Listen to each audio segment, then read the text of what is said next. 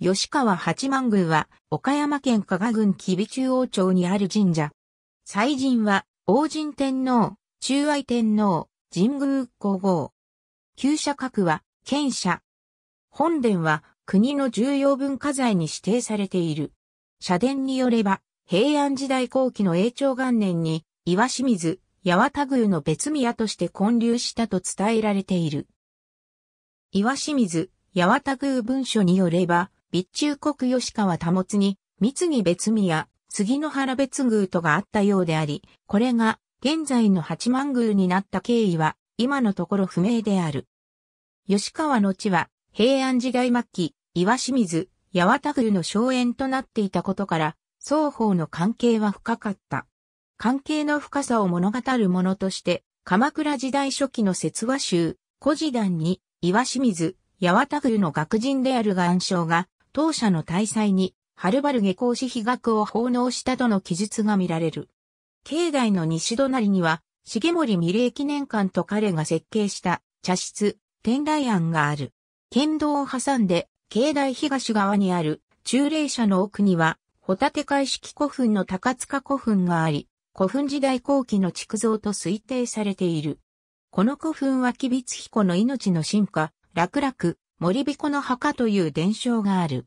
五軒三軒入りも屋造り、屋根は茎。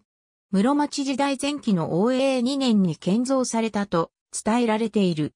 正面の後背部は幕末の源氏元年に作り変えられている。平成8年より平成10年8月までの約3年をかけて解体修理が行われた。この修理の際に建築部材の一部に縦引きの小切りを使用せず縦一列にのみを打ち込んで、割る工法が使用されていることが全国で初めて発見された。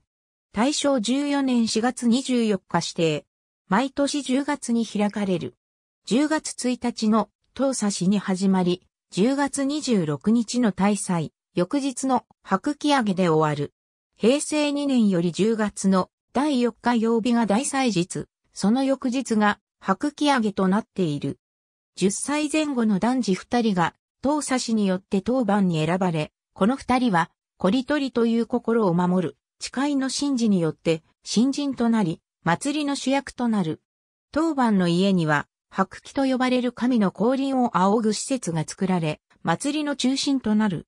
大祭では、当番の二人が乗馬師とモビトを従えて、八幡宮へ参詣する。八幡宮で、神事、式典が行われ、午後には400メートル離れたお旅所に移動する神事が行われる。大祭のクライマックスでは当番、友人の走り比べが行われる。白木上げの行事で、当番は深海から俗海に戻り祭りが終了する。昭和30年3月18日指定。